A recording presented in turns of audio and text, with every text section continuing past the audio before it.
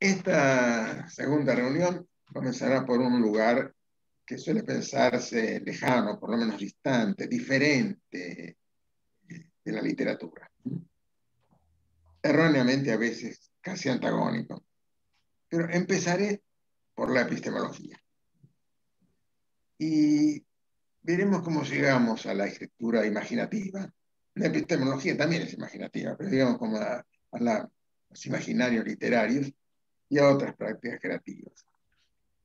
Este, la epistemología, digo, es también una creación, no es un producto de la naturaleza y ni siquiera de la naturaleza humana. una construcción. Vamos a mostrar una frase y un modelo que nos conducirá.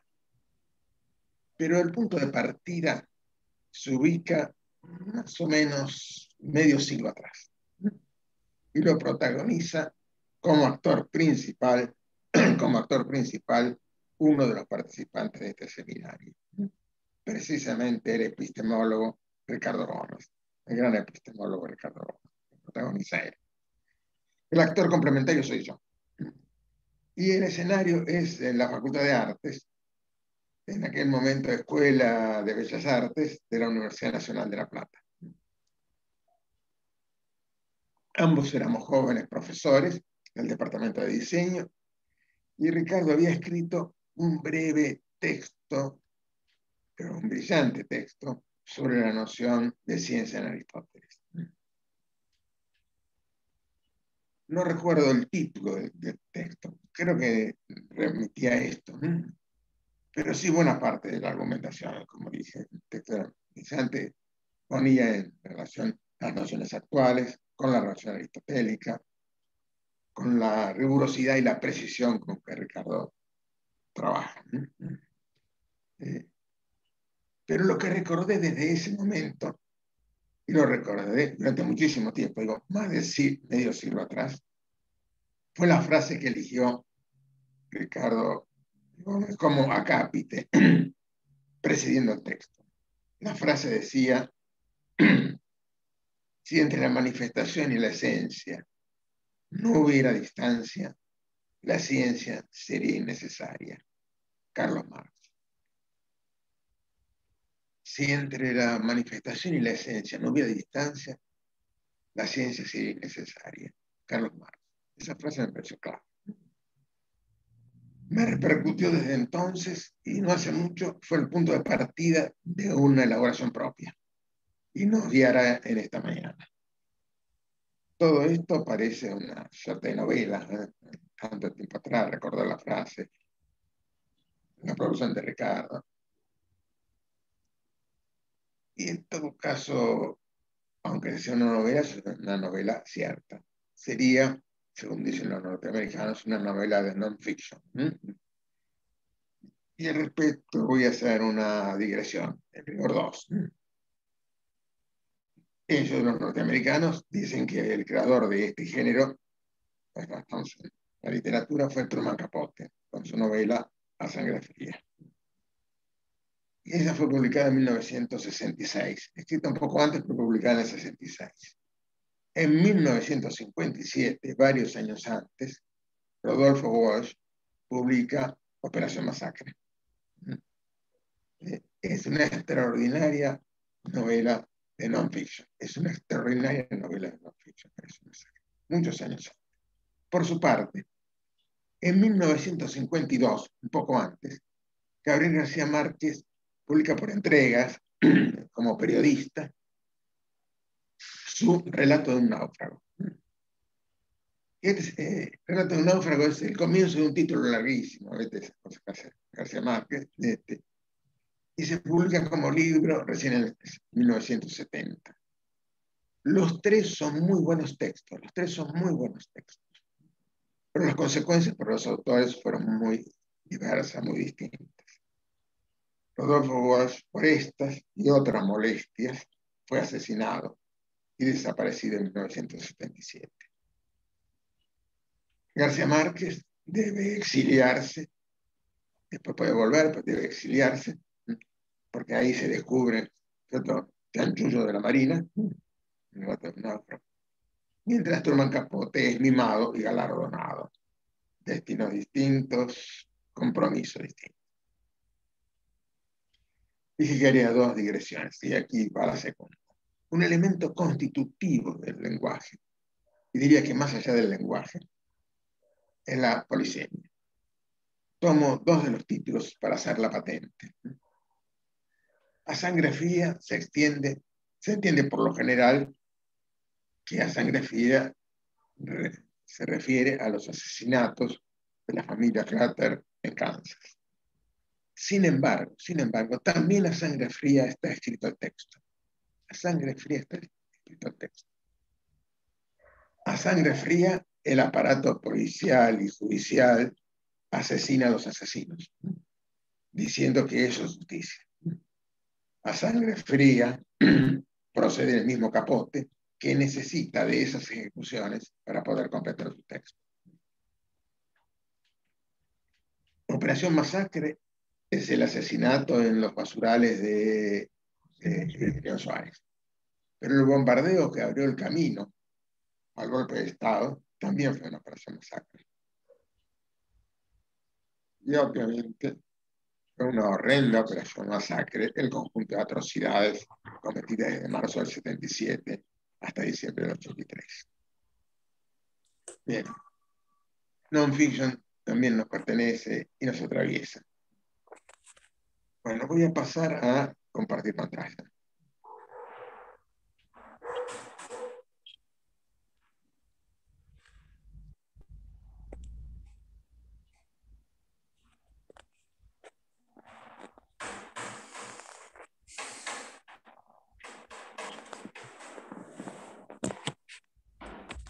¿Está, bien la el compartimiento de pantalla? ¿Se lo ve? Sí, Roberto, se ve bien. Bueno. bien.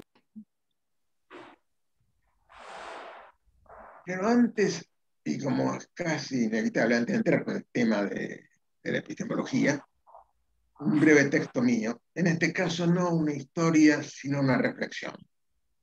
una reflexión con los imaginarios literarios no tiene una relación muy simple, no es directa, no, es inmediata. Pero no puedo ponerlo en palabras, pero creo que la relación en algún plano es cierta y es profunda. El título de la reflexión es Las cosas y sus sombras, las cosas y sus sombras. Nosotros, aún sin saberlo, somos materialistas o trans y damos así prevalencia a las cosas. Ontología de la, de la materialidad tridimensional que reduce a casi nada eso que vemos, pero que es ausencia de luz. Como si las ausencias no tuvieran derecho a nuestra atención. Decir que las vemos es excesivo. Apenas las activamos, como regañadientes. La sombra, esa bidimensión que no se desgasta, es cuando nos movemos sube y baja escalones, que convive con pisos y paredes, que dibuja perfiles, que se hace nítida con el sol y sutil con la luna, que vibra con la llama de la vela y de la fogata. Y se multiplica con la diversidad de los focos eléctricos. Las sombras que se ausentan en la oscuridad de la noche, apoyando nuestra intimidad.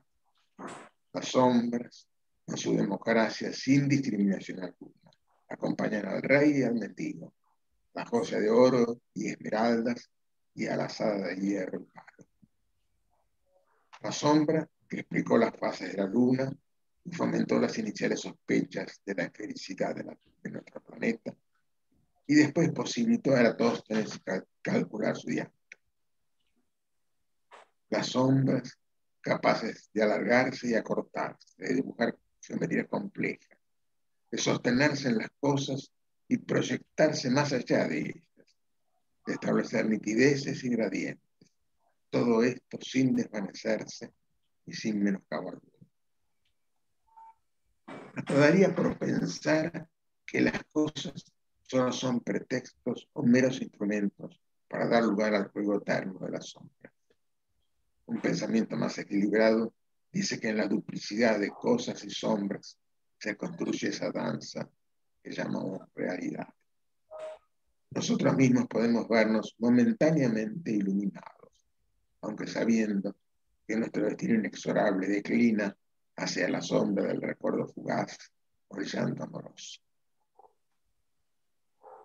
Bien, así como dimos título a la primera de las reuniones, a esta segunda le, pon, le pondremos un título y la pondremos bajo el amparo de el nombre y el renombre. Volvamos entonces al inicio, a aquella expresión de Carlos Marx que Ricardo Gómez escribió para mí. Entonces, hermano, una frase. ¿eh? entre la manifestación y la esencia, no hubiera distancia, la ciencia sería innecesaria. La frase está en el texto capital de Carlos Marx. Ese texto capital de Carlos Marx obviamente se titula El Capital. Está, siendo, ah, está ubicada hacia el final de ese largo texto. Está en el tomo 3, capítulo 58 como se darán cuenta, no me fue fácil encontrarla, porque Ricardo Gómez, que me dio la frase, no me dijo exactamente dónde estaba, me dio el autor. Fue bueno. Me exigió una experiencia, también de cierto recorrido. Ahora. Dije, se trata de entre la frase que dice que entre la manifestación y la esencia no hubiera distancia, la ciencia sería innecesaria. La idea no es muy original, pero es decisivo. Se trata simplemente de entender que si con solo mirar al mundo, si con solo atender al manifestarse, al presentarse de las cosas, se las conociera íntegramente, es decir, que se conocieran sus principios, sus leyes organizativas, o sea, la esencia de las mismas, si así fuera, no sería necesario el esfuerzo de hacer ciencia. El caso es que no basta con mirar el cielo para saber cómo son las órbitas de los planetas, ni asegurar la existencia de galaxias. En rigor, con la sola manifestación sensible, ni siquiera las ideas de planeta o de galaxia pueden aparecer en el horizonte. Tampoco el mero deambular cotidiano, deambular en el cuerpo social, revela la existencia de clases sociales ni de prejuicios, y discriminación. Entonces es clara la diferencia entre la manifestación y la esencia, la consecuente necesidad de pensar, de hacer ciencia, de indagar. Pero voy a agregar otra frase que también será piedra basal de esta disertación. Digo entonces, si entre la manifestación y la esencia, esto lo digo yo, si entre la manifestación y la esencia no hubiera ningún nexo, la ciencia sería imposible. El nexo o mediación entre la manifestación y la esencia es el análisis. Tenemos entonces ahora una triada que además de su propio valor nos servirá como estructura para otros campos. Entonces, manifestación, análisis, esencia. La manifestación como presencia inmediata no dice nada. El análisis consiste en descomponerla en cada una de sus partes. Es la operación destinada a reconocer los rasgos diferenciales de las manifestaciones. Es necesario analizar, descomponer, desmenuzar las apariencias para poder lidiar con ellas. Repito, analizar, descomponer, desmenuzar las apariencias para poder lidiar con ellas, para poder comprenderlas el método cartesiano. No digo que sea el único método posible, pero es el que me conviene para este desarrollo. Podemos decir, el precepto cartesiano está, establece que para deslindar las cosas, ellas deben diferenciarse en partes claras y distintas para usar sus propias palabras. Ese método de precepto todavía tiene validez o eficacia. Basta que nos dejemos pinchar una vena y tener un poco de sangre para verificar. Se hace el análisis. Aclaro que una cosa es la operación de extracción de sangre y otra de chupada Esta última cosa solo la saben hacer Drácula y el capital concentrado. Bien, volviendo a la extracción, el procedimiento posterior, como dije, se llama precisamente análisis de sangre y desagrega tantas variables que casi seguro que nos alarme. Acceder a la esencia, que también puede entenderse como el concepto, requiere destilar, concentrar, definir, estrujar, condensar para eliminar los rasgos diferenciales de las manifestaciones, aquellos que se reconocieron en el análisis. La esencia es en cierto sentido inabordable. El ser de las cosas en su unicidad, su carencia de atributos particulares, de rasgos o lecturas específicas, queda por fuera de las posibilidades de la representación.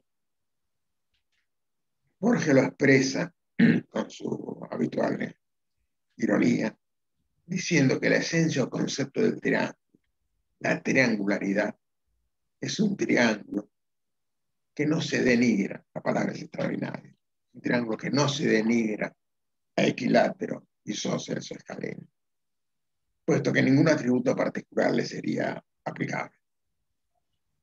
Debe aclararse que estos rasgos acordados al concepto y consecuentemente a la esencia son propios de la filosofía platónica y en cierto sentido, en buena medida, también a la kantiana, para poner desarrollo significativo de esta concepción. Esta versión sigue teniendo vigencia en el uso común y aún en el académico, por lo que para esta oportunidad la mantenemos. En consecuencia, la esencia determinaría lo real, puesto que los entes particulares solo son o se comprenden por ser una realización de la esencia. Se puede entender a la manera de Platón que dichos entes particulares tienen siempre una realidad menoscabada respecto de la idea o esencia a la que remiten, o más precisamente de la que devienen, puesto que son las ideas solo lo que tendría verdadera realidad. Si nos acercamos a Aristóteles, la esencia o concepto se define o determina como aquello que a partir de entes particulares los inscriben en un género lo circunscribe mediante alguna diferencia específica.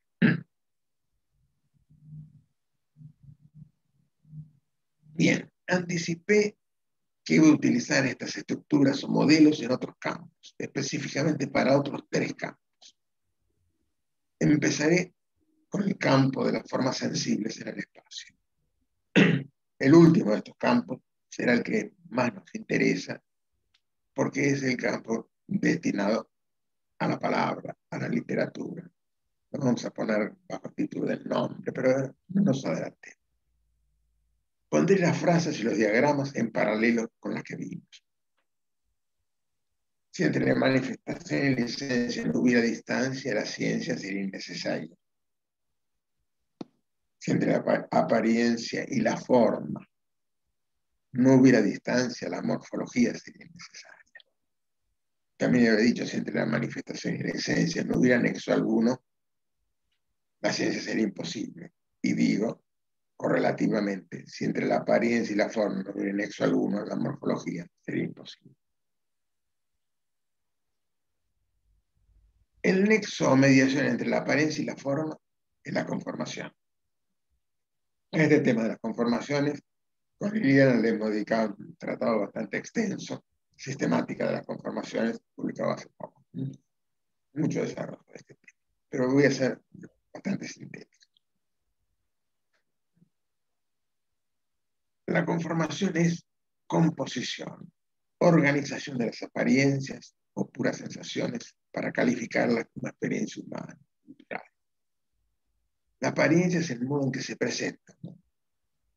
Ese mundo es opaco solo dice de su existencia. No es posible hacerlo. La apariencia se escabulle. La apariencia tiene dos dimensiones. Una de ellas es la indeterminación. No es posible hacerlo. Esta dimensión de la apariencia implica la imposibilidad de delimitar de modo preciso y estable el mundo circundante. La otra dimensión de la apariencia, que la disimula, disimula es una apariencia, es la catalogación. Se ubica en el plano social y opera de manera casi constante y permanente a lo largo de la vida cotidiana.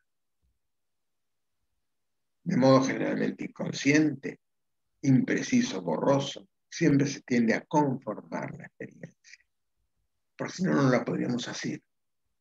Podríamos decir que así el mundo ya nos viene formateado con esta catalogación, que hay una codificación social que induce, propone aceptaciones fijas y presuntamente objetivas de lo presentado. Para pasar de la pasiva apariencia a la activa forma es necesario un proceso, mejor dicho, un trabajo, un trabajo de conformación. Y señalo que toda apariencia puede ser conformada de distintas maneras. El mundo es estructuralmente polisémico. La relación entre apariencia y forma la voy a hacer una digresión, la voy a relacionar también con una experiencia de mucho tiempo atrás, en los años 60. Ah, otra vez estamos estamos contando el siglo ya, los veteranos. Yo era docente era ayudante, jefe de trabajo práctico, que era ayudante, una cátedra de, en aquel momento se llamaba Visión 4, la facultad de arquitectura, y se había producido este, la reorganización de la facultad en el año 56, y nosotros habíamos empezado la facultad un poco antes, habíamos aprendido a dibujar, dibujando, este, había muy buenos yesos, desde los más simples, la flor de lis, el capitel, Corintio.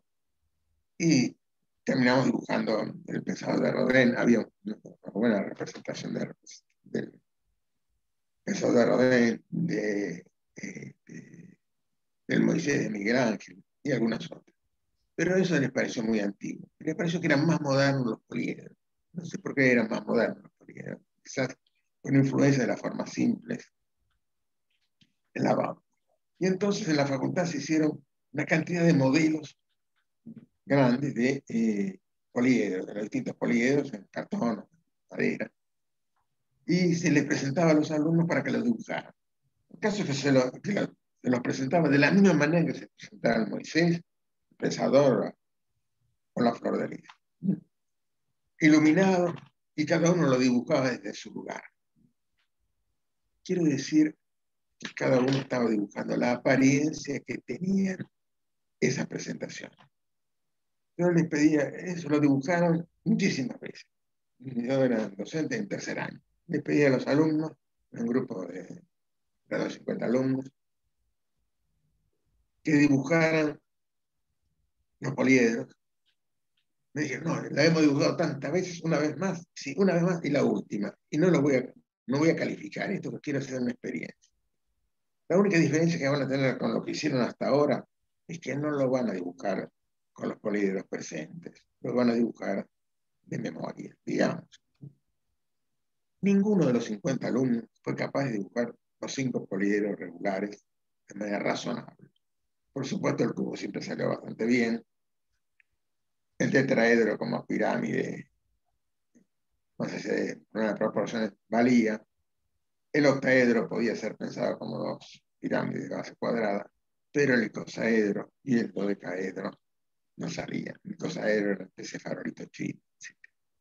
¿Qué pasaba? ¿Por qué? Después de haberlo dibujado tantas veces, nunca lo habían conformado, no lo habían interpretado, no habían estructurado su visión, simplemente la habían reflejado. La apariencia es opaca, no nos dice de la realidad.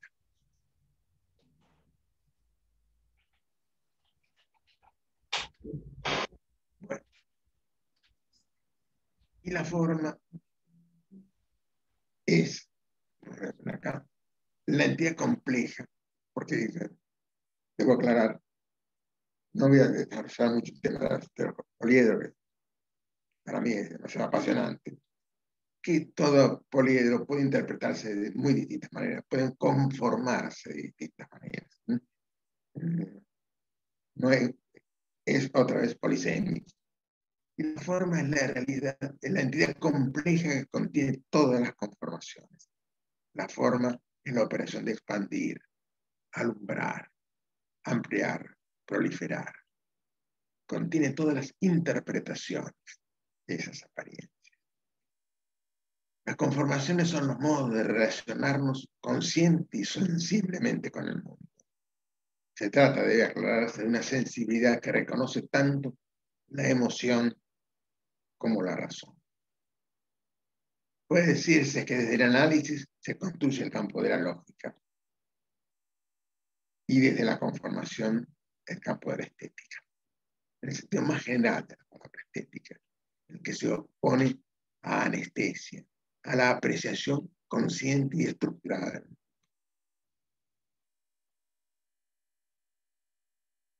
Se puede verificar que entre la manifestación y la apariencia hay una gran proximidad, más que diferir en contenido entre ellas, difieren por el campo en que las hemos ubicado. Una fuerte oposición se produce entre el análisis y la conformación. Mientras el análisis descompone las manifestaciones para poder lidiar con ellas, la conformación organiza las apariencias para calificar. También la esencia y la forma se oponen radicalmente. Mientras la esencia o concepto es expulsión y anulación de los atributos de lo que puebla el mundo, la forma es contención y validación de todas las conformaciones con las que interpretamos y operamos el mundo. La forma está siempre incompleta, nunca se satura. Esto no es señal de insuficiencia, sino de marcación de su capacidad para sostener la apertura del mundo. La forma sostiene la apertura del mundo. También la forma en cierto sentido es inabordable. Es el horizonte ahora múltiple, múltiple, pleno y abierto de las interpretaciones de la realidad percibida, de las conformaciones que nos posibilitan y delimitan. Bien, bien. El modelo epistemológico.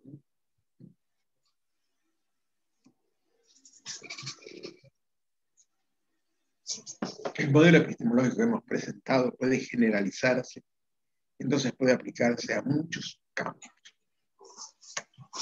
Vamos a aplicarlo a dos ámbitos centrales, decisivos de la misma. El habitar y el hablar. Con el hablar vamos a entrar en la literatura. todo esto tiene que ver. Veamos cómo funcionan añadiéndolos a los anteriores. Vamos a empezar con el habitar para dejar en última instancia el hablar. Aclaro que para este tercer es prioritario el campo del hablar, origen y destino de la literatura.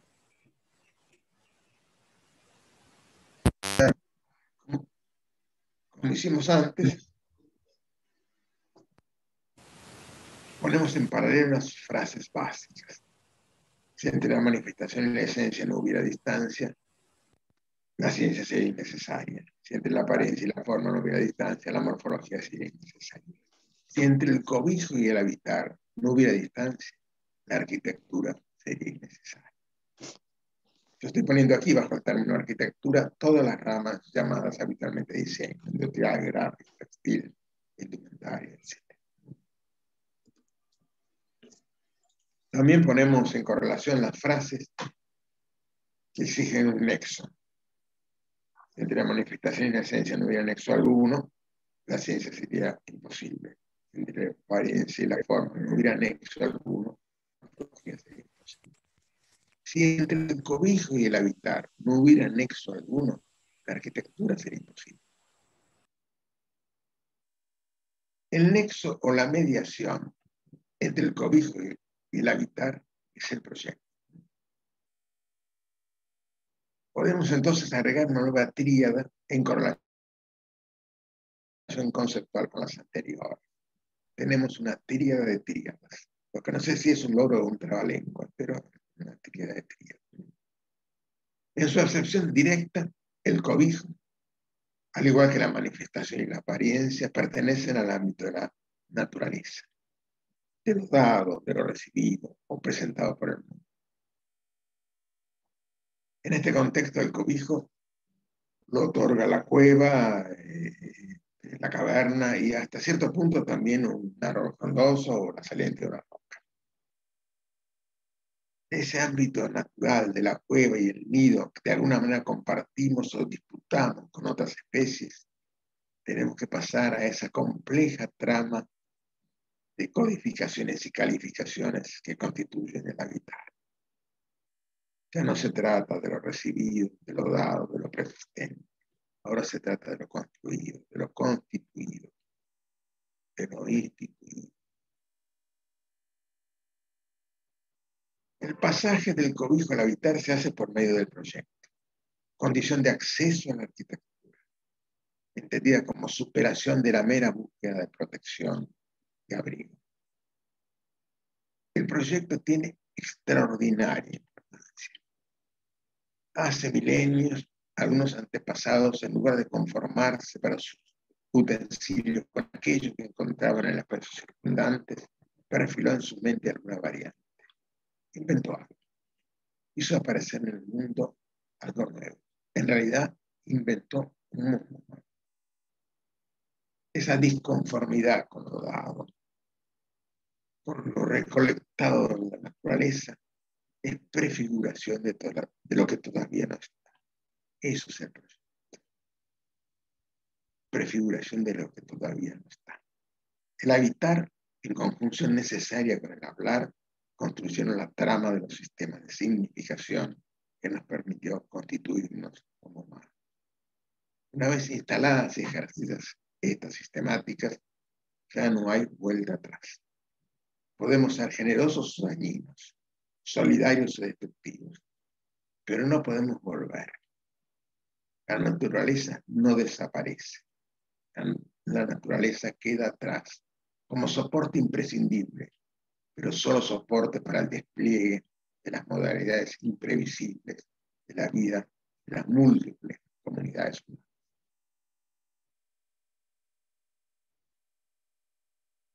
Antes de hablar acerca del hablar, ese núcleo principal de esta reunión, vamos a hacer un rodeo o una finta a través de un breve relato de las palabras sumergidas, palabras sumergidas que hicimos. El texto se titula La pelota azul.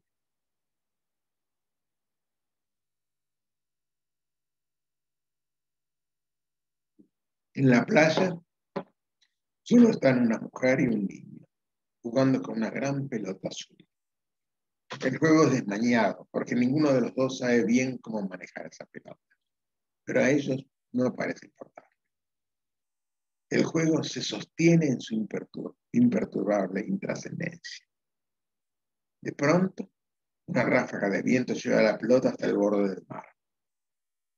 El niño corre para alcanzarla, y cuando está a punto de hacer una ola, algo más grande de la que ah, desde hace largo rato muere el declive de la arena, arrastra la pelota.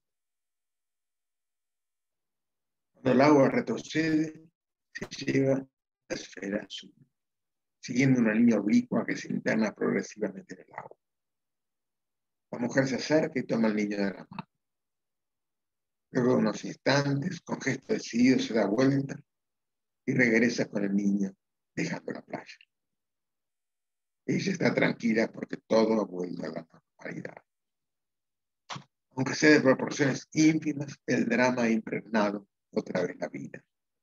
El niño simplemente vive el drama, pero camina de regreso sin animosidades.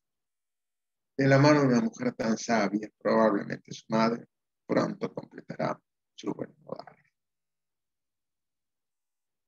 Y yo escribí lo que entendí que eran las palabras sumergidas quise hacer emerger. En el comienzo se presenta el juego en una de sus formas más nítidas, quizás más perfectas. No hay reglas, ni capacidades específicas, ni objetivos, solo juego. Se completa con la intimidad de la soledad de los jugadores y con el marco de una plaza, de una naturaleza en la que nada indica que limite su belleza y complacencia. Luego, una circunstancia imprevista, sin indicios de tragedia o relevancia, modifica la situación y termina. Termina completamente. No solo imposibilita la actividad, diluye el reemplazo por otro juego.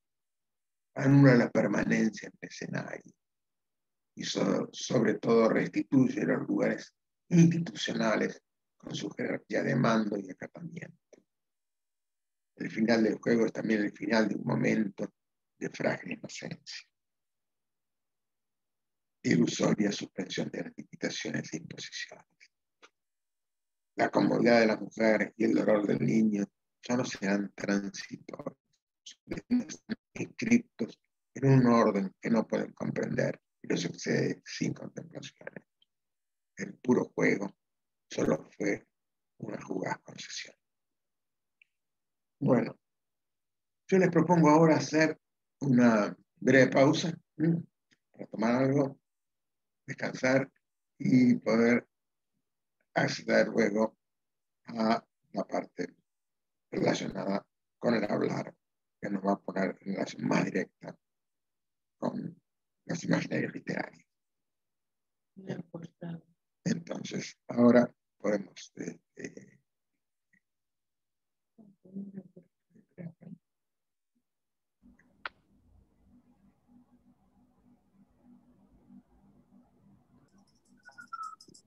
Vamos entonces ahora a, comenzar con la cuarta y decisiva línea del modelo.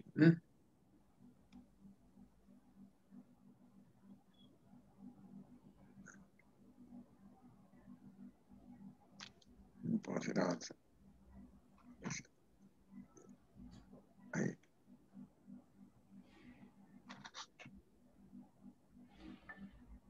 Bien, entonces, eh, sin distancia, la ciencia sería innecesaria.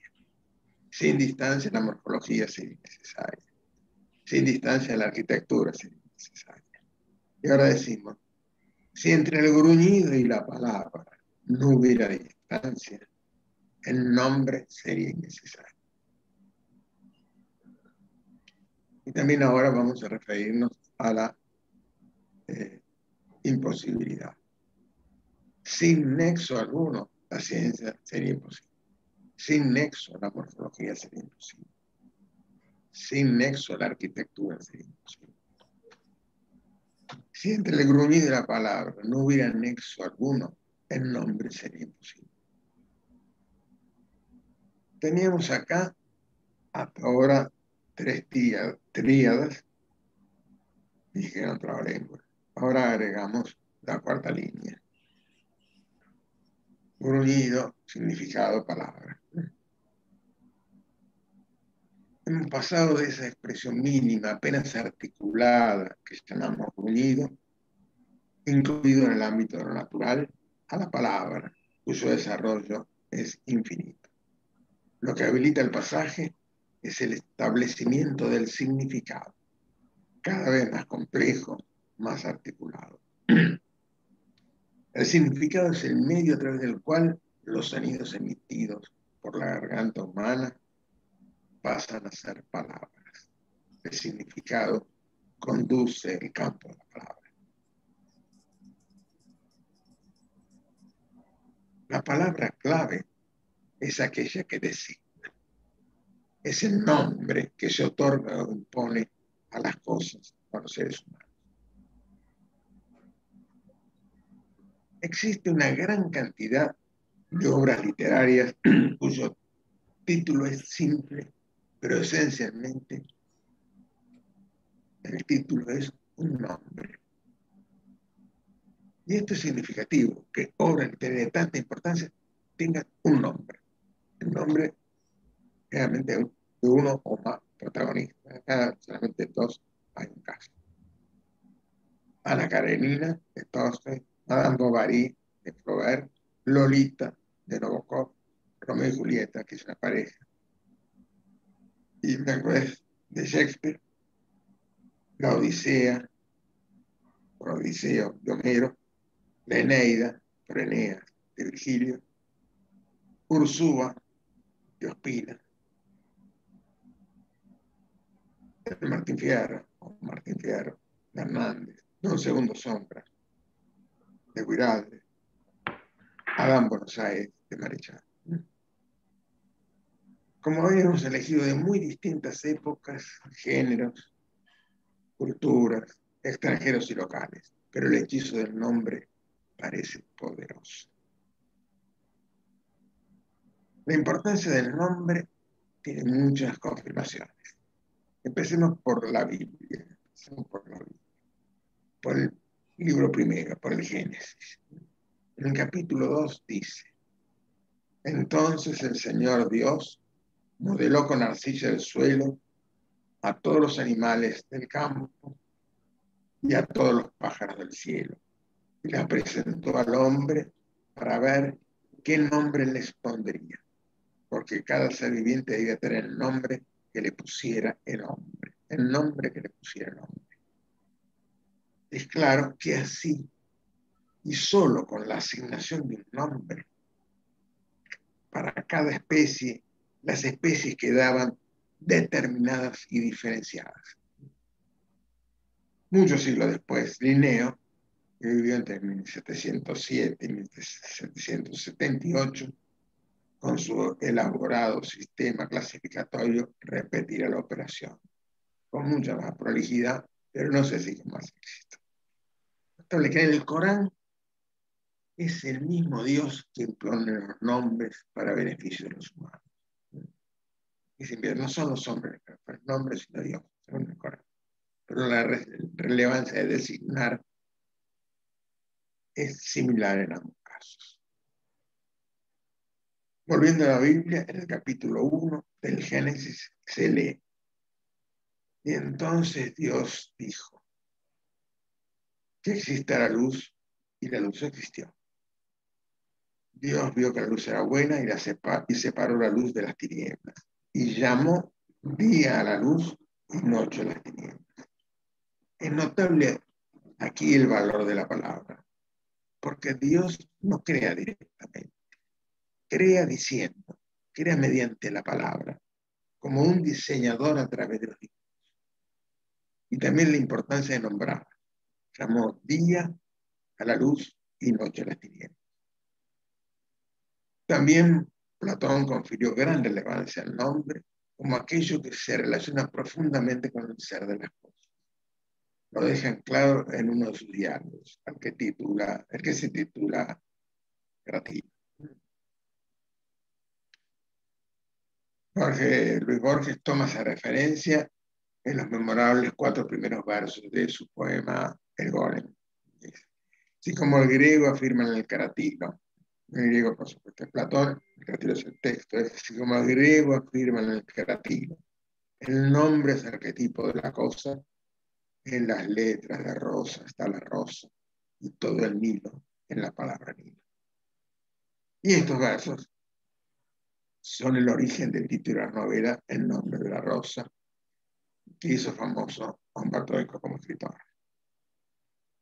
No hace mucho tiempo, Humberto Eco publicó un libro titulado El vértigo de las listas, que reflota el valor de conjunto de palabras, de nombres no necesariamente de personas, de nombres, de personas y otras cosas.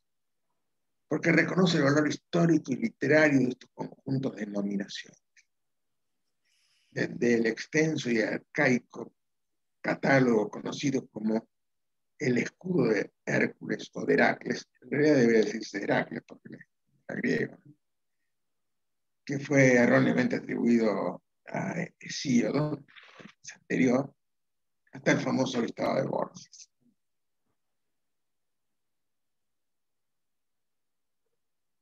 Y ese listado eh, está en el libro Otras Inquisiciones de Borges, donde se incorpora un capítulo o artículo, perdón, titulado El idioma analítico de John en una supuesta enciclopedia china que tiene la inesperada denominación de Emporio Celestial de Conocimientos Benévolos. emporio celestial de conocimientos benévolos, escribe este famoso catálogo de Borges.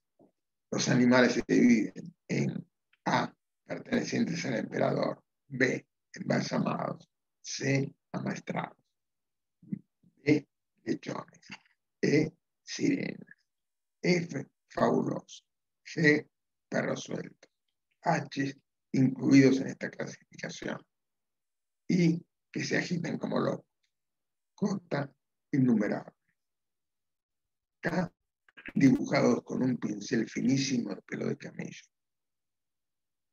L, etc. M, que acaban de romper el jarrón. N, que de lejos parecen moscas.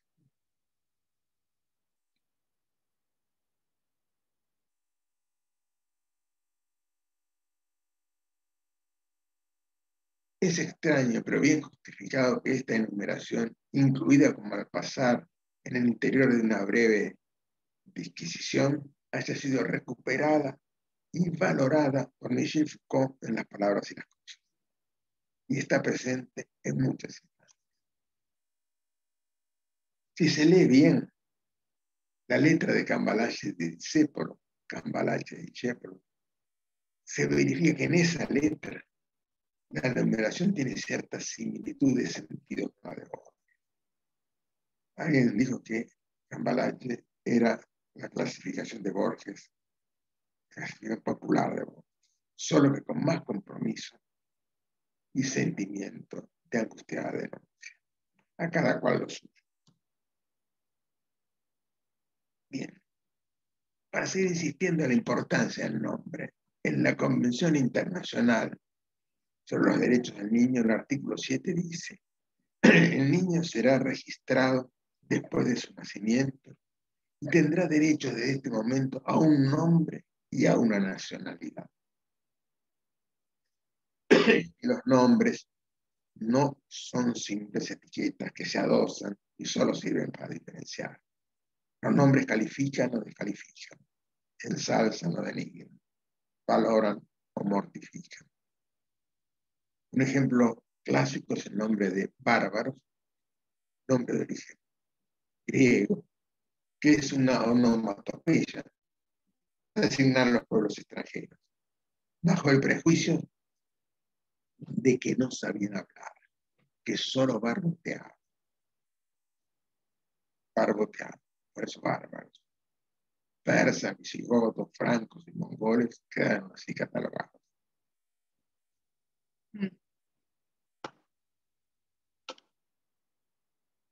Es obvio que Villa Miseria y Villa La no son básicamente indicativos, son esencialmente discriminativos.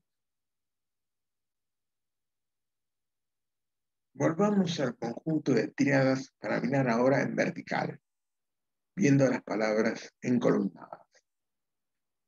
En cada columna propondré qué tipo de entidades son incluidas y cuáles son los ámbitos en los que se inscriben. Todo esto es complejo las palabras utilizadas solo son indicios, no cubren con exactitud. Pero algo tenía que hacer. Primera columna. Manifestación, apariencia, cobijo, unido. Todo esto es lo que nos presenta al mundo en primera instancia, aquello de lo que solo podemos marcar su existencia. Son lo natural, son lo que se nos presenta como inmediata realidad son resultado de la pura existencia fenoménica primaria. Se ubican como datos básicos, pero siempre están tapados o modelados por la cultura. Por eso son máscaras. En este sentido, con su presencia engañosa pero contundente e insoslayable, son cosas. Son las cosas, así presentadas. Hacer cuestión de lo que hay, de las entes o entidades, es la temática de la ontología. Segunda columna. Análisis, conformación, proyecto, significado.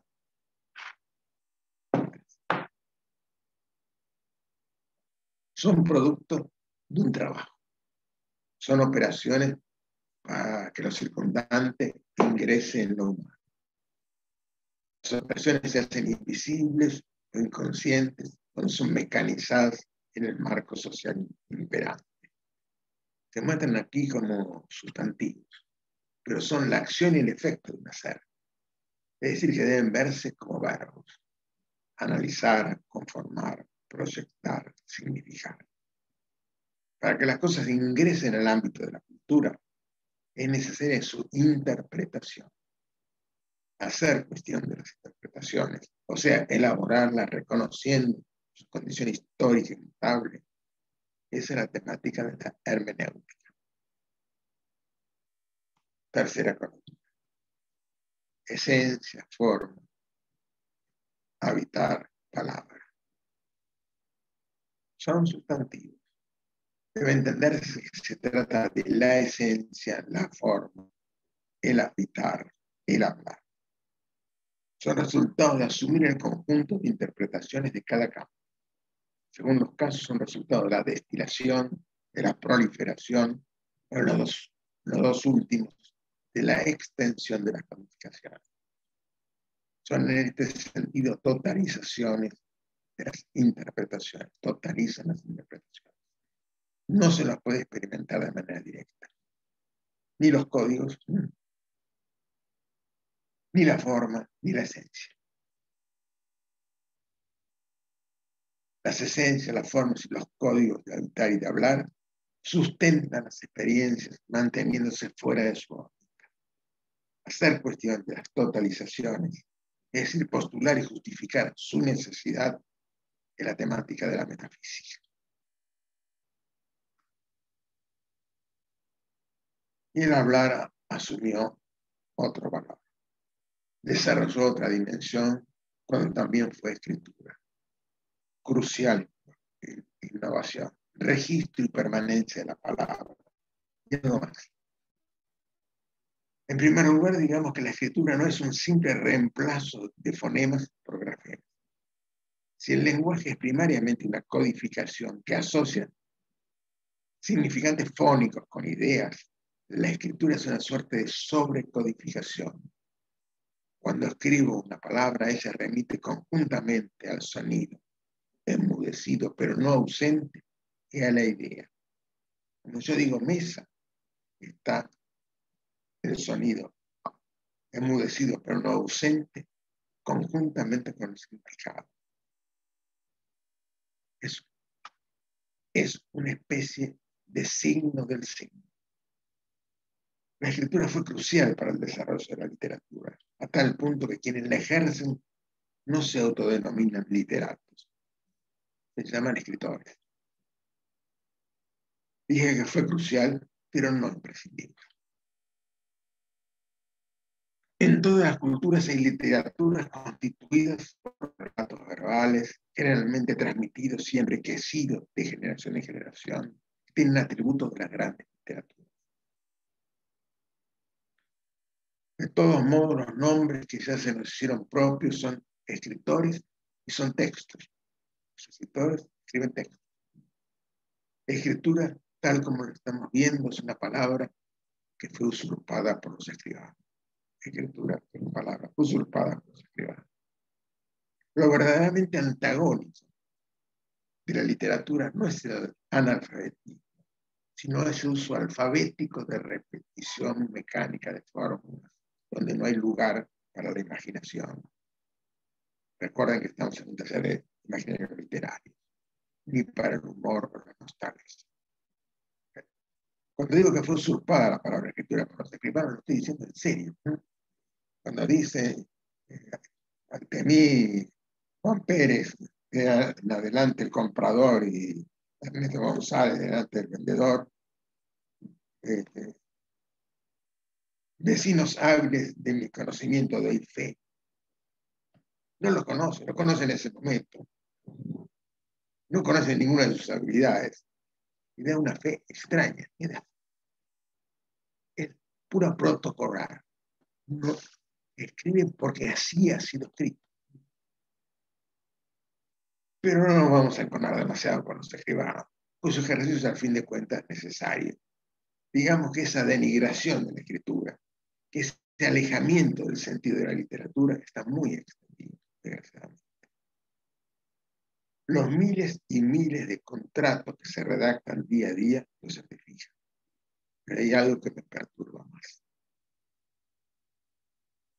En esta categoría entran las composiciones escolares muy buena parte de las monografías y artículos de revistas series, dicho esto con la mayor ironía posible.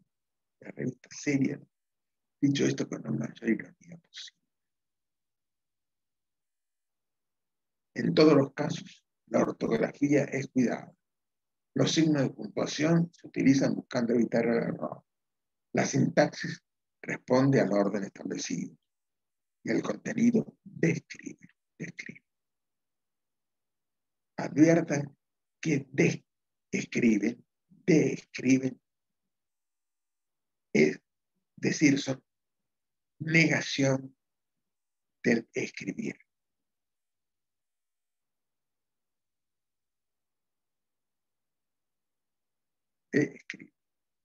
Se repite que Roberto Ar escribe con errores de ortografía y otras maneras. Así escribía. No me acuerdo quién dijo que cualquier maestra podía corregir una página de arte, pero ninguna escribir una página como arte. Creo que se exagera. Prefiero pensar que hay posiblemente, que hay, no sé cuántas, pero que hay maestras con cualidades de escritoras bajo las premisas de escribanos, contratistas y articulistas, serían aborrecibles las más de 40 páginas del último capítulo de, del Ulises de Joyce, sin signo de puntuación, modelo de soliloquio entre desesperado y banal. Y también sería descalificado.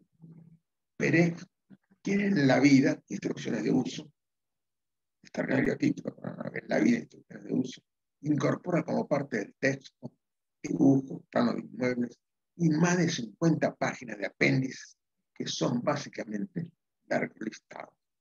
Sin embargo, leer esto es atender también a esos listados.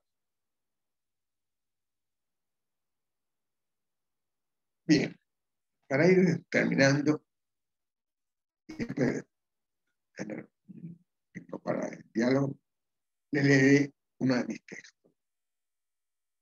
Uno de mis textos que se dice que es de los textos irreverentes en el marco de una asociación de filosofía. Texto que en mi libro Escritos Cítricos lo ubiqué en capítulo denominado Desopilancia. Se titula Hormigas. Dice, ¿Dónde se encontró con las hormigas? En el patio de mi casa, al fondo, cerca de la higuera. Eran muchas, unas 250 mil. ¿Cómo supo? ¿Las contó? No, eso llevaría mucho tiempo, pero uno se da cuenta. Si no las cuenta, ¿cómo se da cuenta? Tengo mis métodos. ¿Quiere que le cuente? Cuente, cuente. ¿Acaso esta no es un cuento? Sí, tal vez, tal vez, pero siga nomás. Bueno, le digo, a ojo, nomás es fácil ver un grupo de 10.000. Y entonces es cuestión de contar 25 grupos y ya está. Veo que así es más fácil. Pero ¿está seguro que contó bien? Mire, dos o tres se pueden haber escapado, pero no muchos más. ¿No tuvo miedo? Sí, 250.000 hormigas no es chiste. Tiene razón, no le veo la gracia.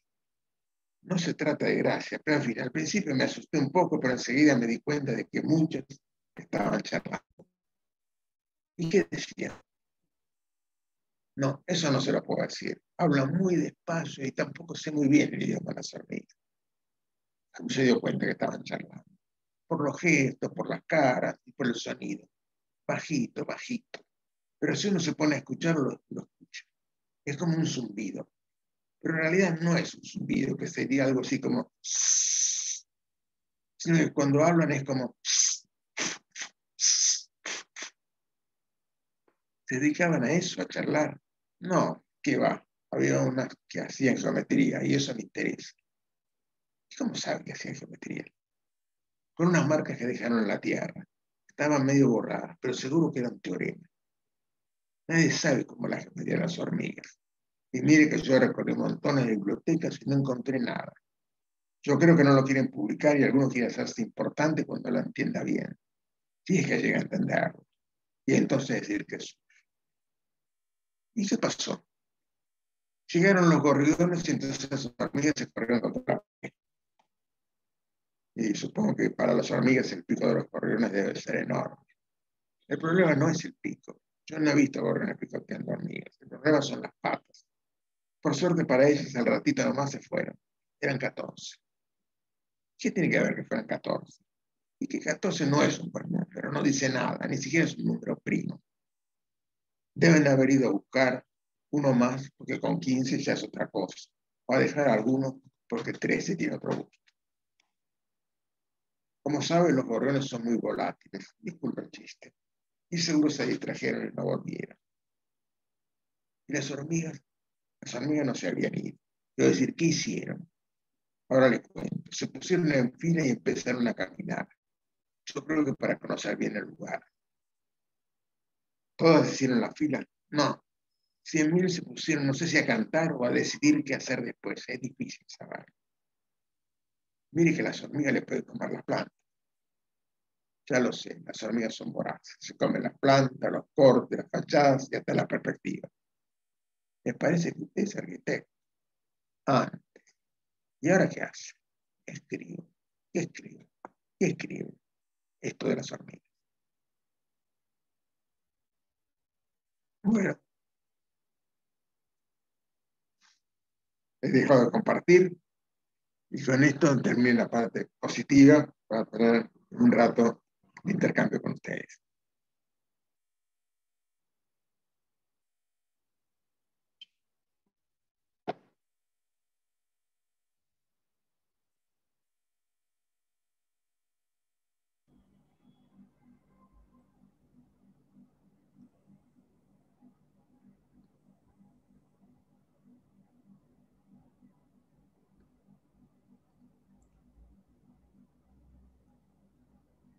Pueden habilitar todos sus micrófonos si quieren. El que quiera usar el, este, el chat para pedir la palabra o algo así está habilitado también. Digo que quieres hablar. Dale, dale, dale. Yo interrumpo. Adelante. En mayoría para Creo que primero Este- había pedido la palabra Lola, me parece, ¿no?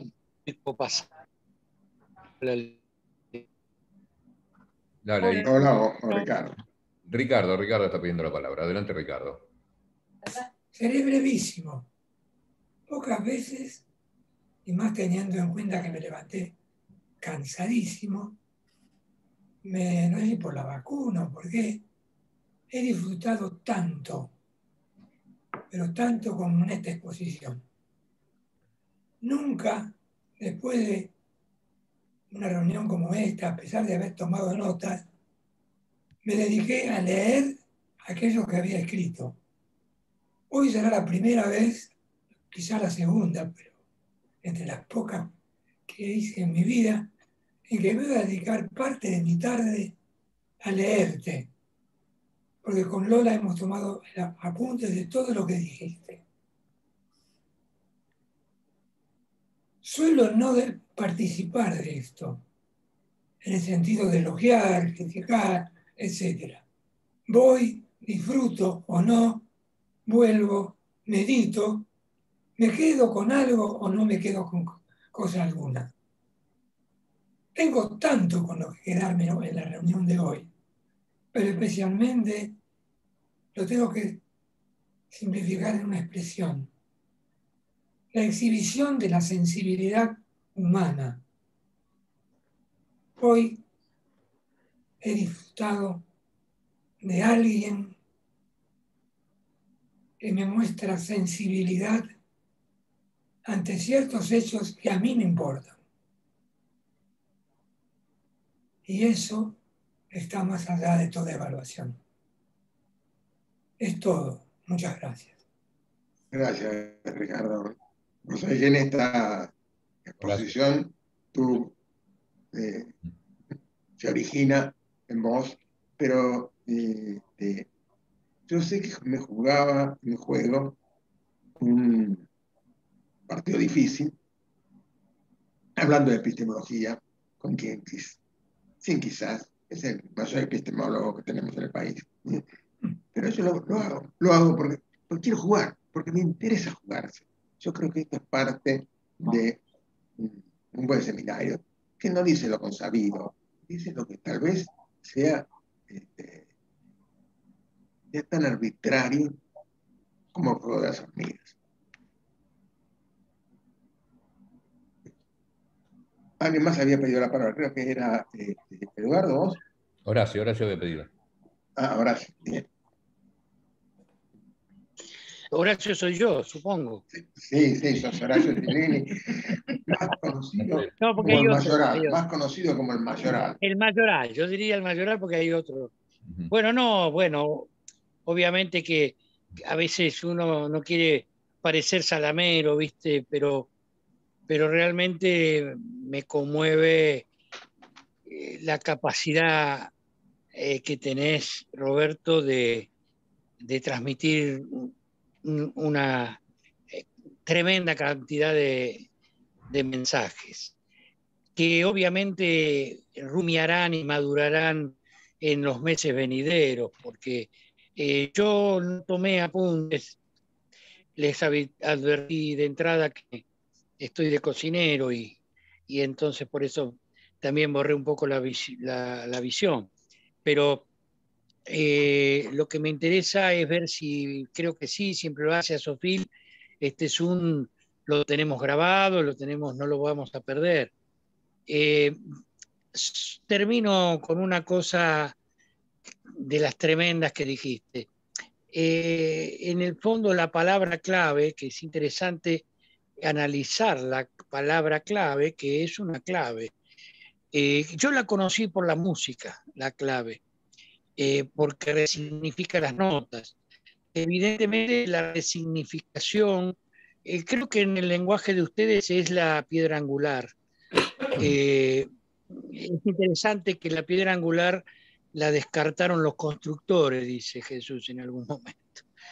Este, bueno, me parece que todos los de Asofil somos constructores, algunos sociales, otros de pensamiento, y bueno, yo simplemente que soy uno de los burritos del equipo, me siento tremendamente halagado por, por esta presentación. Gracias, Roberto. Gracias a vos. Mi opinión es muy importante. José Mayoral, el otro día habías dicho eh, eh, que, habíamos comentado que eran mejor llamaste mayoral que no el menoral, y vos dijiste, sí, este, también este, eh, el menoral suena a, a, un remedio, tenía razón, es mejor mayoral.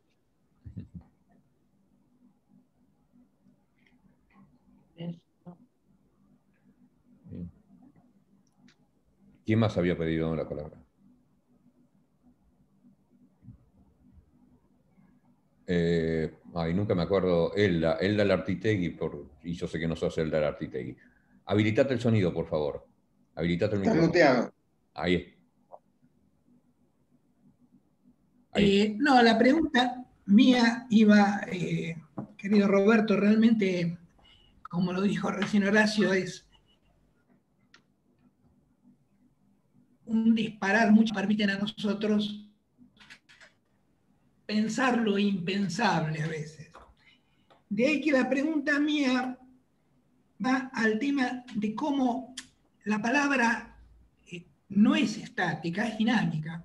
Yo en estos momentos estoy trabajando un tema que está vinculado con el pueblo. Entonces, ¿cómo de alguna manera con la historia la palabra va cambiando? Y entonces a veces uno no sabe cómo conciliar fundamentalmente algunos pensamientos de antropólogos modernos, Timo Kush, por ejemplo, en los cuales salta del ser al estar.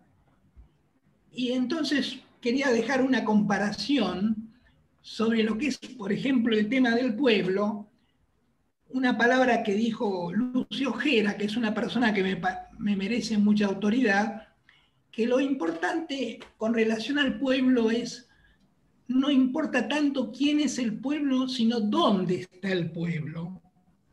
Y entonces, la comparación que se me vino a, a la mente es el entier, eh, la, cuando hubo esa manifestación por Maradona, donde estaba el pueblo, parte del pueblo, y cuando fue la de Menem. Entonces uno ve dónde está el pueblo y dónde no está el pueblo, por así decirlo. Perdóname toda esta introducción y no sé si fui claro. Sí, sí, lo fuiste, perfectamente.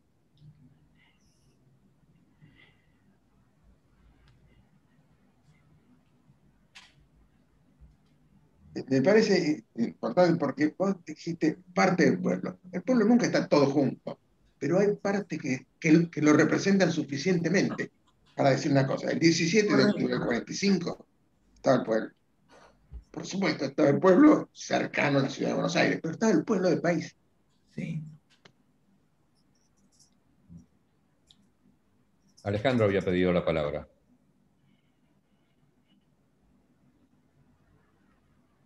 Habilitate el mic. Hola, sí, buen día a todos. Bueno, yo simplemente también para manifestar mi, mi, felicidad de haber escuchado esta, esta semejante exposición que de alguna manera, eh, digamos, eh, eh, no sé, me, llena de a mí me activa a, continuar con, algunos caminos y con algunos pensamientos que, que por ahí construimos en el campo de la morfología. Eh, lo digo como, como profesor y como de alguna manera como, un, ferviente lector y continuador de, esos contenidos en morfología de arte. Entonces quería, uno, eh, manifestar un detalle interesante que en la clasificación eh, del universo de John Wilkins, de la enciclopedia del Emporio Celestial, eh, Borges se detiene en la letra N y la letra que continúa, digamos, es la ñ, ¿no? Que justamente es, una, es como una letra significativa dentro de nuestro abecedario y ahí hay como una inflexión, ¿no? Es una letra que además tiene como un gesto eh, que podría ser interpretada como la G más la N, podría ser interpretada como que hay algo en, la forma ¿no? de la enunciación de la N que tiene que ver con, eh, con, nuestra manera de, enunciar algunas voces fonéticas. Eh, y por otro lado, digamos, poner también el, sistema de la palabra en, este lugar donde eh, la forma, ¿no? Yo pensaba, me, interesó mucho esto que decías, eh, eh, Roberto, Robert, esto del gruñido, ¿no? O sea, muchas veces, digamos, los sonidos, estos gruñidos también, que, estas fonéticas que aparecen detrás de una letra, también tienen múltiples y tienen infinitas eh, determinaciones ¿no? en distintos idiomas y cada uno elige alguna, forma eh, gráfica y a veces muy interesante, como me parece eh, la letra N. Y por último, bueno, contar a título con, absoluta, como un comentario, eh, yo realicé a partir de esta clasificación una taxonomía que se llama taxonomía borgiana de la espacialidad, donde eh, esta taxonomía claramente fue inspirada después de, leer a Doberti y, encontrar estas relaciones entre la forma y la palabra, eh, porque básicamente estas taxonomías se, se organizan en relación a, a, estas, a estos vínculos o a esta tercera columna que vos eh, decías, Robert. Y la verdad, eh, me facilitaste ahora, me disparaste un montón de, de, cuestiones este, interesantes para seguir pensando. Así que bueno, yo celebro esta reunión y te agradezco infinitamente tus reflexiones y tu sensibilidad. así que bueno, y, y aprovecho para saludar acá a los amigos presentes. Eso, no. Me habla mucho de, la, de, mi sensibilidad y dentro de poco me van a hacer llorar. eh, vienen Javier y Lola. Bueno, eh, yo obviamente me, me, sumo y hoy, este, hoy diría que es un día de Robert clásico, ¿no? Este, Robert este, hablaba de, de, del escrito de donde arranca todo esto, de los años 60, y yo me, sentía por momentos en los 80 sentado en un aula de FADU tomando apuntes como eh, en esos primeros descubrimientos este, de, escuchar al Robert, este, casi como eh, teoría inspiradora para la comprensión de todo. Eh, pero más allá de, las flores, digamos, este, yo quería tirar un, par de notitas al pie que obviamente están relacionadas, viste, cuando estás enfrascado en algo y, todo lo que escuchás tratás de, llevarlo para ese carril, ¿no? Este, y cuando vos hablas de, la diferencia entre cobijo y habitar, este, precisamente mediada por, por el proyecto, eh, estamos todavía en una, en una, discusión, y es un poco los, los temas que, tratamos como, como, equipo, sobre qué es lo que hay que hacer con el hábitat popular, y, lamentablemente volvemos a estar este, respondiendo con este, recetas este, adocenadas o eh, prefijadas, que tienen más que ver con el gruñido que con la palabra, ¿no? Eh, lamentablemente como reafirmando un, pensamiento profundamente reaccionario de que lo popular no necesitaría proyecto arquitectónico, que el proyecto arquitectónico es para otra cosa y que eh, con eh, atender el cobijo en sus mínimas este, expresiones alcanzaría. Eh, casi es como decir, bueno, este, los pueblos no necesitan palabra, necesitan gruñido.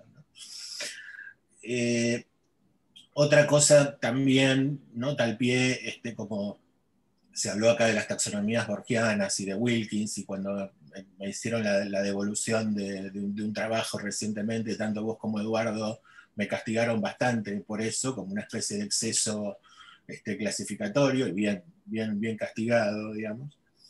Eh, yo creo que también, este, sobre todo para la primera mitad, cuando se habla más de, lo espacial que, que, él habla, el, ver un poco cómo funciona ahí el concepto de tipo, ¿no? que vos has, laburado también y, reelaborado bastante con Liliana, en esta cuestión de tratar de entender una esencia abstracta, ¿no? este, que como que el tipo no surge de depurar este, eh, esa apariencia hasta encontrar la esencia, sino como de encontrar un sistema relacional y que digamos, se simplifica para clasificar, pero no a partir de la apariencia. ¿no? Este, es una relación bastante extraña que, que, nos sigue dando vuelta a pesar de que pasa de moda y vuelve en, el pensamiento arquitectónico bastante.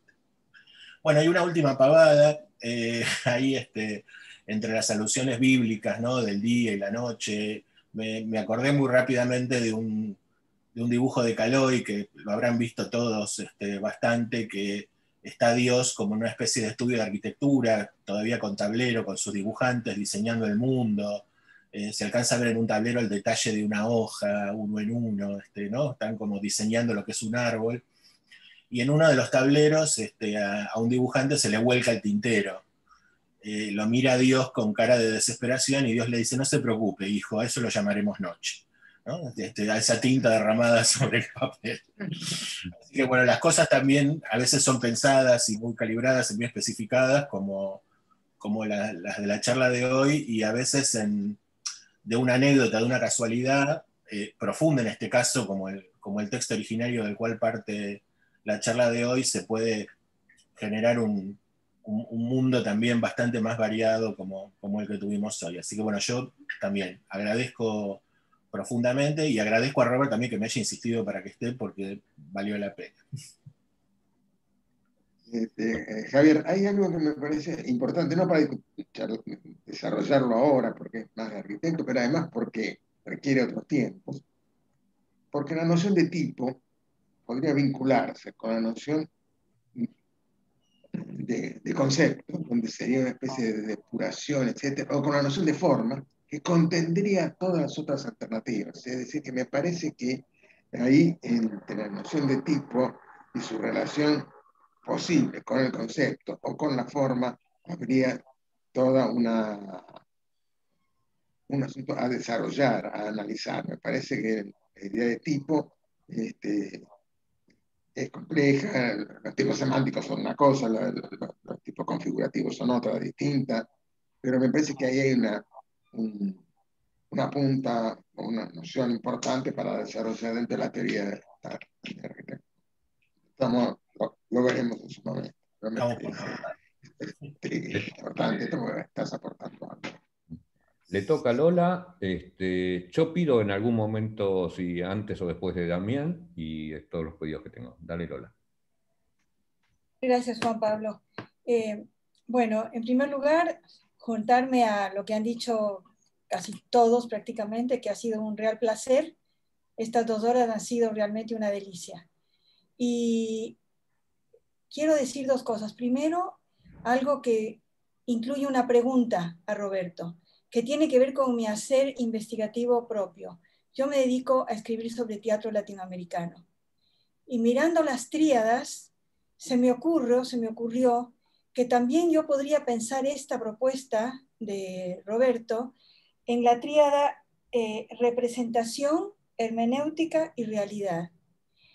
Y lo hago porque mi, mi, acercamiento al teatro siempre es el teatro o la escena aunque sea en la calle, por ejemplo, las acciones de funciones patrióticas, eh, son, eh, tienen una relación para mí no directa, pero siempre tangencial, simbólica, metafórica, de miles de formas con el contexto. Un contexto que no siempre es el presente, puede ser el pasado, puede ser la historia, puede ser una demanda de otro futuro, etcétera, pero siempre está relacionada con el contexto.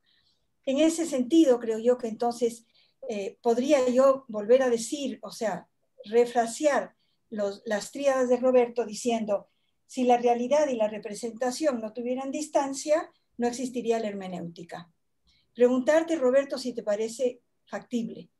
Y la otra cosa es decirte que junto con toda esta, esta enorme riqueza conceptual y relacional entre diversas palabras y conceptos, me impacta muchísimo la belleza de tu escritura y la inmensa sensibilidad, siempre impregnada además de, un humor realmente delicioso. Me causa real placer leer tus, textos.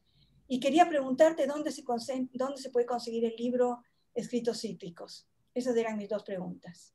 Gracias. son varias cosas. Bueno, por un lado, me alegra muchísimo que eh, haya alguien, en este caso vos, pero que piensa este modelo, llamémoslo epistemológico, que es aplicable a otros campos. En, los campos que yo lo expliqué no, eh, no exhaustivan la posibilidad de modelo. Y lo que vos planteaste me parece que es una, una ampliación muy, muy legítima. De, vos decías, entre,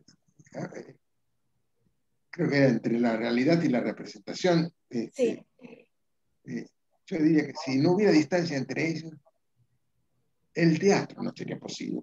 No, no, eh, eh, no, no, la hermenéutica, porque la hermenéutica es, sería la teoría de la interpretación, pero yo creo que para mí, eh, vos que te estás ocupando de la dimensión de la interpretación, teatro en el sentido más amplio de, la expresión, el teatro es posible porque entre la representación y la, realidad, si no hubiera distancia, no hubiera lugar para el teatro. Este teatro es porque hay que, hay que eh, ponerle una dimensión más, no, no tomar el orden de la, de la realidad como exclusivamente válido, sino que el teatro, la representación, en lo que tiene de analítico y lo que tiene de crítico de la vida social, es esencial. Este, eh, eh, lo estamos discutiendo ahora demasiado este, en caliente, pero me parece que está muy bien este, y me alegra que haya una posibilidad de ampliación. No sé si la, actividad que vos dijiste es mejor que la que te estoy proponiendo. Veámoslo, vamos a verlo juntos. Bueno, eh, en cuanto al, libro, se lo puede, eh, por lo menos que yo sepa, se lo puede pedir a. no. A No, no, no es, es no, de, de, de editorial este muchacho. Bueno, ahora, te lo voy a mandar por. espera un minuto que voy a buscar si encuentro para acá. Mira, está buscando un ejemplar. Este, y te digo, cuál es la editorial y ahí se puede pedir. Gracias. Bueno. Creo que había una tercera cosa que me había dicho, pero ya me la olvidé. Bueno, podemos seguirla después, porque me interesa muchísimo, realmente me interesa muchísimo, por toda la problemática que se hace alrededor de la representación y la posibilidad de salirse de la representación, como decían los posmodernos, investigadores de teatro, y presentar algo sin representar. Entonces, esa discusión me interesa mucho y creo que tú me has dado buenas claves para seguirla. Muy bien. Eh, Damián, Demián y me, reservo después la... Como siempre, el que, el que, reparte y parte se queda con la mejor parte. Me, guardo el comentario final. Bueno, en primero agradecer eh, la, arrancar así el sábado, la verdad se disfruta mucho. Eh, después voy directamente. Eh, me agradó mucho cómo se fue llevando este camino de pensamiento eh, desencadenado en sus orígenes casi por el pensamiento occidental y todos los, toda esta cuestión, elementos sacados de la filosofía griega y del mito del Génesis. paréntesis, me gustaría aprender cada vez más de la cultura japonesa para justamente encontrar cuáles son las diferencias que podemos llegar a encontrar.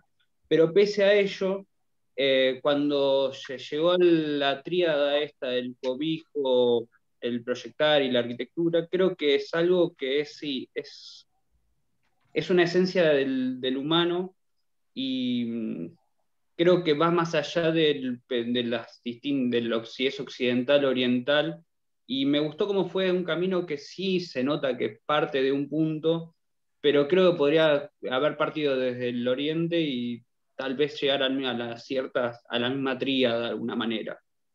Y me resultó muy divertido todo el proceso, cómo fue desarrollándose. Nada, fue eso que me sorprendió y cómo. Muchas gracias. Eh, ahora conseguí el libro. Este, acá está.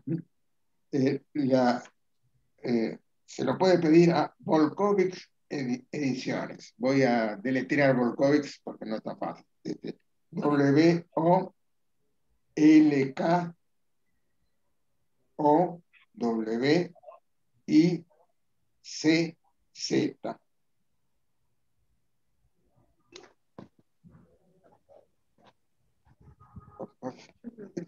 Es, es, es Editores, no ediciones. Y no sé si también lo, está eh, vendiendo CP67, pero por ahora los datos que tengo. Eh, si no, les pasaré mayor información.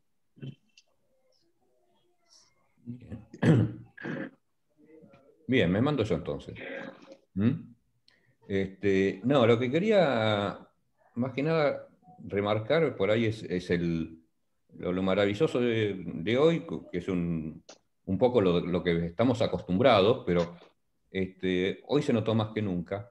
Este, yo quisiera hablar de, la forma de elaborar teoría de, Robert, este, casi hablaría de, lo poco y de lo mucho.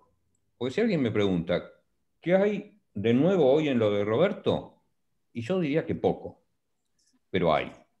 Pero sin embargo, lo maravilloso es que Roberto, con cada poco que agrega, hace una revisión de toda su teoría. Ya lo saben mis docentes, que a veces me preguntan, ¿y cómo haces para seguir este, las teóricas de Doberti todos los años que siempre... No, no, yo ya tengo el filtro puesto para lo nuevo. Este, pero lo increíble es que hoy Roberto hizo una gran cabalgata por toda su teoría, como dijo Javi, desde la época que estábamos sentados como estudiantes en, el aula, que con lo nuevo que agrega, reformula y revisa todo lo anterior. Este, y nos obliga a todos, una vez más, a, revisar este, toda esa visión general y hoy cruzó todo, cruzó la morfología, cruzó la literatura, cruzó la teoría del habitar, que son los, tres grandes campos que él, trabaja, y los está integrando con esos pequeños ladrillos que agrega en cada nueva charla, este, que si fuera por eso solo, eh, sería mera sumatoria. Pero lo increíble es que cada uno de esos ladrillos es una revisión de los cimientos de todo el principio. Eso a mí me pareció fantástico. Este, sencillamente eso. Este, y no sé, Robert, te cedo la palabra y no sé, creo que Fernando había dicho, quería algo, pero bueno. ¿Alguien más quería, quiere hablar antes que cierre yo?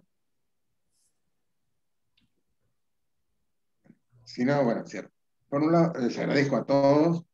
El último comentario diría que mm, es cierto que pongo algunos ladrillos nuevos, pero también saco otros, porque mi idea no es eh, la de eh, consolidar el, muro, sino de hacerlo siempre eh, distinto, siempre abierto, eventualmente cercano a su propia destrucción. Esto me parece que es interesante en una producción teórica. Y vos eso lo sabés, este, hace poco eh, en teoría del habitar, reformulé la nomenclatura, este, bueno, no sé cuánto, cómo les digo a todo lo demás, pero este, siempre hay, que hay un agregar que implica alguna, una puesta en temblor de lo preestablecido. Me parece que esto es mi intento. Este, este, bueno, eso era lo, último que quería decir. Les agradezco a todos muchísimo los espero para el próximo sábado. Y ya lo saben, creo que no es necesario que lo manden, es el mismo este, link de esta reunión para, el sábado. De todos modos, le voy a pedir a Juan Pablo que eh, el viernes haga un recordatorio. Gracias a todos y hasta la próxima. Gracias, Roberto. Gracias, Roberto. Chao, Roberto. Muchas gracias. Ah, muchas gracias. Muchas gracias, Muchas gracias, Robert. Gracias.